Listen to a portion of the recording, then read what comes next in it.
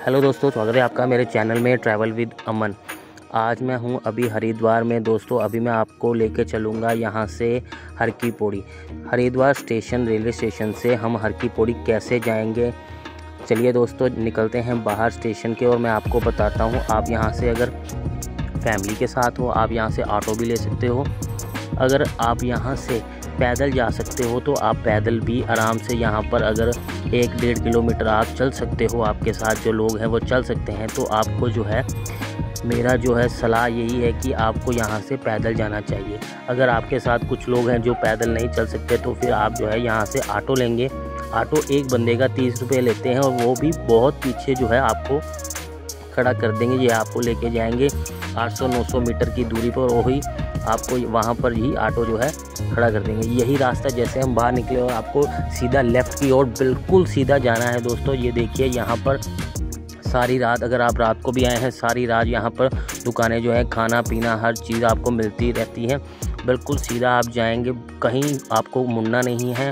बिल्कुल सीधा जाकर और राइट मुड़ेंगे तो वहीं पर जो है हर की पौड़ी, वहाँ पर आपको दर्शन करने, सारे मंदिर वहीं पर हैं। चलिए दोस्तों, वहाँ पर आपको लेकर चलते हैं सीधा। ये देखिए दोस्तों, बिल्कुल सीधा सीधा हम आ चुके हैं हर की पौड़ी में। मंदिर में आपको जो है दर्शन बाद में कराऊँगा। पहले मैं आपको लेकर चलता हूँ बाहर की तरफ़। हम बाहर थोड़ा सा घूमते और मैं आपको गंगा जी के दर्शन भी कराऊँगा। अभी यहाँ पर बहुत ज़्यादा भीड़ हो चुकी है। रात का समय है। ये रात का टाइम अभी आठ, साढ़े आठ बजे का टाइम है यहाँ पर। अभी कुछ ही समय पहले जो है आरती, गंगा आरती जो है वो समाप्त हुई है। यहाँ पर गंगा आरती चल रही थी। यहीं पर अगर आपको गंगा आरती देखनी है तो आपको साढ़े छः सात बजे यहाँ पर आना होगा। यहाँ पर अभी तो बहुत ज़्यादा भीड़ है। चार धाम यात्रा भी शुरू हो चुकी है क्योंकि यहीं से हरिद्वार से ही जो है सारी यात्राएँ शुरू होती हैं और 25 मई को जो है वो शुरू हो चुकी है। हेमकुंड साहब की यात्रा भी यहाँ से इसीलिए यहाँ पर इतना जो है भीड़ हो चुकी है। दोस्तों, चलिए आपको मैं दिखाता हूँ। बहुत सारे लोग जो है बहुत दूर दूर से यहाँ पर जो आते हैं। ये देखिए मछलियों का दाना। माता जी बेच रही हैं और ये देखिए, गंगा जी के दर्शन कीजिए, हर हर गंगे बोलिए, हर हर महादेव बोलिए। और दोस्तों, एक बात बोलता हूँ, अगर आपको वीडियो अच्छी लगी तो अगर आप फेसबुक पर देख रहे हैं तो इसको फॉलो कीजिए और अगर आप यूट्यूब पर देख रहे हैं तो इसको जो है सब्सक्राइब ज़रूर करना। और जो दोस्तों, अभी थोड़ा सा हम घूमकर और फिर मैं आपको अंदर जो है दर्शन कराने लेके जाऊँगा। ये देखिए, रात का समय बहुत ज़्यादा लोग हैं यहाँ पर, बहुत ज़्यादा भीड़ है।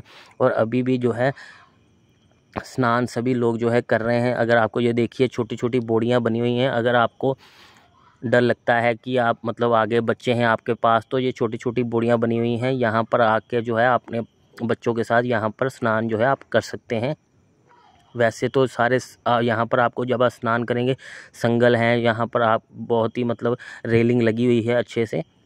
लेकिन जल स्तर इतना तेज़ है गंगा जी का कि आपको जो है ऐसे कोई मस्ती वगैरह नहीं करनी चाहिए यहाँ पर।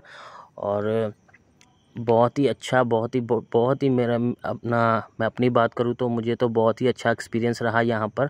भीड़ थी, बस थोड़ा सा अगर आपको यहाँ पर अभी होटल भी चाहिए तो मैंने एक वीडियो बना के रखी है सभी होटलों की, आप कैसे यहाँ पर रह सकते हो। अगर आपको यहाँ पर रूम नहीं मिलता तो आप स्टेशन पर भी रुक सकते हो। वो भी वीडियो है, आप जाकर मेरे चैनल पर देख सकते हो। अभी दोस्तों हम अंदर जा रहे हैं, आपको दर्शन कराएँगे गंगा घाट जी के। यही है दोस्तों गंगा घाट जी, हरिद्वार, मेन मंदिर, यहाँ पर अंदर चलते हैं दोस्तों हम और अंदर जाके दर्शन करेंगे।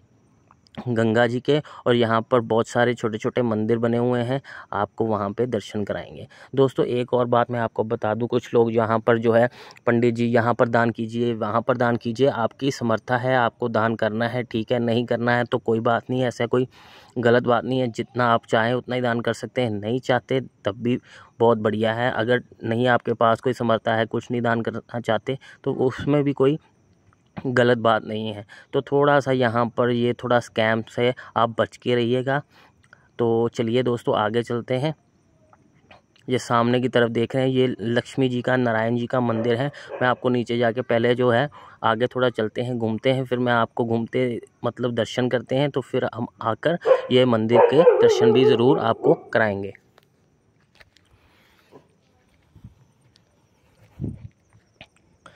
मैं दोस्तों आपको बार बार बता रहा हूँ अभी हम हरिद्वार स्टेशन से जब आए हैं यहाँ पर तो मैं आपको बता दूँ, वहाँ से आपको तीस रुपये ऑटो के लगेंगे। अगर आप पैदल आते हो तो पैदल बहुत बढ़िया रहेगा, क्योंकि अगर आप चल सकते हो तो क्योंकि वो पीछे ही आठ सौ नौ सौ मीटर आपको चलाकर वहीं पर रोक देंगे। फिर आपको बोलेंगे कि आगे ऑटो नहीं जा सकते, इसीलिए आप, अगर आप पैदल चल सकते हैं तो बिल्कुल पैदल ही आइए। वहाँ से एक सवा एक किलोमीटर, सवा किलोमीटर है। अगर नहीं आ सकते तो तीस रुपये एक ऑटो वाला लेता है तो आप सीधा आ सकते हैं उधर।